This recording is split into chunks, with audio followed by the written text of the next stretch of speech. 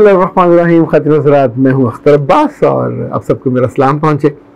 हमारी बच्चियाँ गाँव की हों, शहरों की हों, बहुत अच्छे घरों की हों मीडियोकर हों या लोअर मीडियोकर हों, कुछ चीज़ों में उनके अंदर जो कॉमनैलिटीज़ हैं, वो पाई जाती है। लाइक ये सारी ही एक्सपेक्टेशन बनाने में शेयर होती हैं, बल्कि शेरनियाँ होती हैं, ताकि जो दुरुस्त उर्दू है, उसके मुताबिक इन्हें सबसे बड़ी जो तोको होती है, वो वीवीआईपी प्रोटोकॉल हम सारे ही हुकूमत को और सियासतदानों को और फौज वालों को और बाकियों को बुरा भला कहते हैं। इवन ये कोर्ट के जो जजेस हैं कि सब प्रोटोकॉल बहुत ज़्यादा लेते हैं। They love to have a lot of protocol उनका मन करता कि पीछे गाड़ियाँ चलें, आगे रेड कारपेट पीछे हों और जब उनको हार पहनाए जाए तो उन मोमेंट्स को मुजस्म कर दिया जाए। लड़कियाँ भी ये चाहती हैं। अब उनका प्रोटोकॉल जिस घर में है, वहाँ एक दो नंदे होती हैं, एक आध सास होती है, एक आध ससुरा होता है। अब ये सारे वो लोग हैं जो उम्र में अक्सर उससे बड़े होते हैं। तो ये तो खुद प्रोटोकॉल के भूखे होते हैं, ये तो लाए इसलिए होते हैं कि आए और आके हमारी खिदमत करें। तो आमतौर पर यहाँ पहला फड्डा पड़ जाता है और शादी के दूसरे तीसरे दिन पड़ जाता है कि आपकी तोको होती है रेड कारपेट, इस्तकबाल, तारीफें हर सूट की, हर मेकअप की, बालों की, वो जो लटें छोड़ी, वहाँ शादी के अगले दिन लेट क्यों उठी? अपने मियाँ को खाना क्यों नहीं दिया? और आप अगर नॉन प्रैक्टिकल हो तो ये फड्डा लंबा हो जाएगा। अच्छा दूसरा ये होता है कि लड़कियाँ जो सोचती हैं कि उनकी नंदे या सासें कभी उनको ताना ना दें। क्यों ना दें?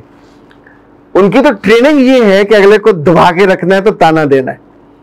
वो ताना आपकी माँ की किसी कमज़ोरी का हो सकता है लेन देन में कमी कमज़ोरी का हो सकता है, भाई की किसी कमज़ोरी का हो सकता है। माजी का कोई वाकया आपके किसी बहन भाई ने कोई गलती की है तो उसका ताना भी दे सकते हैं। अब ऐसे में आपको बहुत गुस्सा आएगा।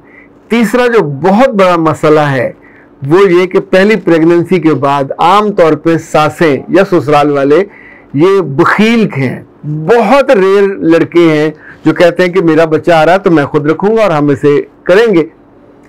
जहाँ जॉइंट फैमिली है, वहाँ सास खाना नहीं प्रॉपर देगी, बाकी ख्याल नहीं करते तो फिर माएँ ले जाती हैं। ये माएँ इसलिए नहीं लेके जाती कि बच्ची को खाना नहीं मिल रहा माएँ इसलिए लेके जाती हैं कि अपनी बच्ची को वो ज़िंदा सलामत देखना चाहती उन्हें पता है कि ये, जिस तौर पे मिस हैंडल हो रही है मिस ट्रीट हो रही है, ये तो गरीब डिप्रेशन से मर जाएगी। अच्छा दो दो, तीन तीन बरस के बाद, बच्चे होने के बाद भी लड़कियों का जो एक्सपेक्टेशन का लेवल है, गुब्बारा ये नीचे नहीं आता। तो ऐ प्यारी लड़कियों, ऐ अच्छी लड़कियों, जब ब्याह जाया करो, जब बीवी बन जाया करो, जब माम बन जाया करो तो फिर थोड़ी नॉर्मल हो जाया करो। फिर इज़्ज़त के लिए जॉब होती, बंदा वहाँ से इज़्ज़त ले लेता है। इज़्ज़त के लिए आपकी वहाँ दोस्तें हैं, उन पर खर्च करो, वहाँ इज़्ज़त आप ले सकते हो। लेकिन अपने माँ बाप के यहाँ भी कुछ आप इज़्ज़त ले सकते हो। अगर उनको ये पता हो कि ये डटी हुई है, ये वहाँ बड़े सुकून से और बड़े एडजस्ट हुई हुई है तो इज़्ज़त होगी। उजड़ने वाली है तो इज़्ज़त नहीं होगी। जितनी बच्चियाँ साल साल छह छह माह से अपने घरों पे आके बैठी हैं प्रेगनेंसी हुई, वापस नहीं गई, लेने नहीं आए फ़ोन नहीं किया, तोहफा देने नहीं आए, सांस देखने नहीं आई, मियाँ देखने नहीं आया जेठ देखने नहीं आया, जेठानी देखने नहीं आई। तो अब आपने वो काम किया जो गरीब गुरबियाँ, जो गुर्बत के मारे हुए लोग होते हैं ना ये उनमें होता है मसला।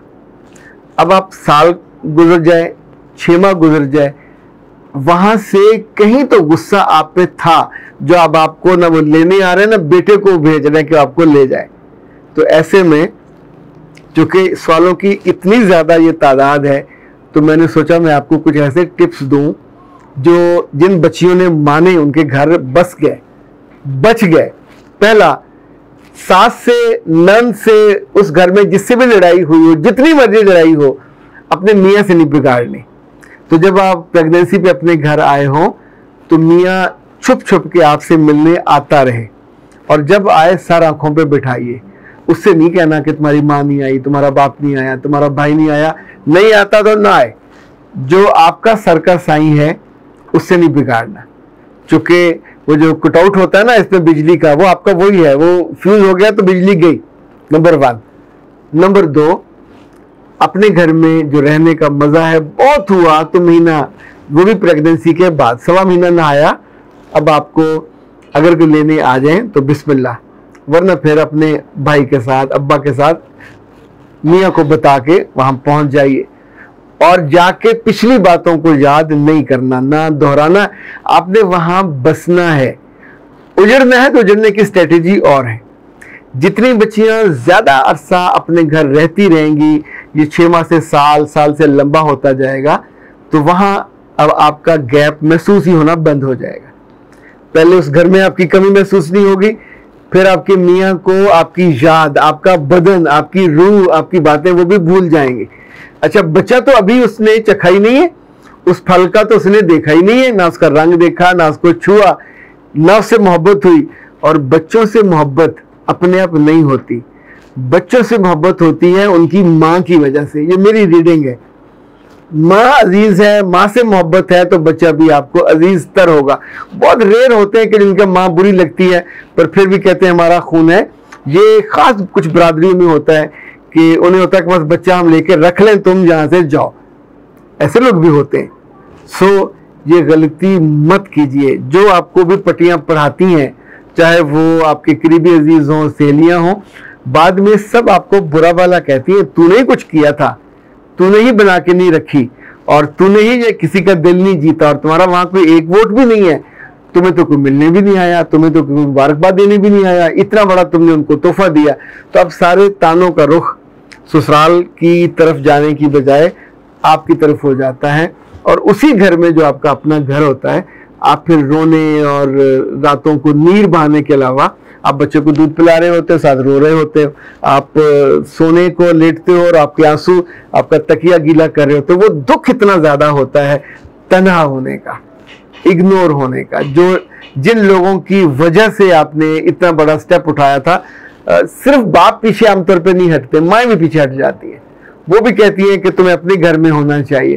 कहीं कहीं कुछ ऐसी जालम खातन होती हैं जो उजाड़ने पे जिन्होंने कहते हैं उधार खाए बैठी होती हैं कि इसको उजाड़ दे उजाड़ना है तो उनका कोई कुछ नहीं कर सकता।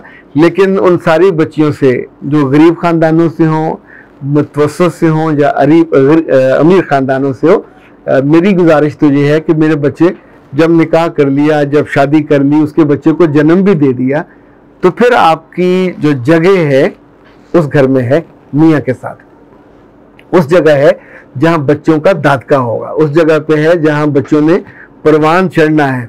अगर तो आपने दिल में रिश्ते को तोड़ दिया, फिर जुड़ेगा नहीं।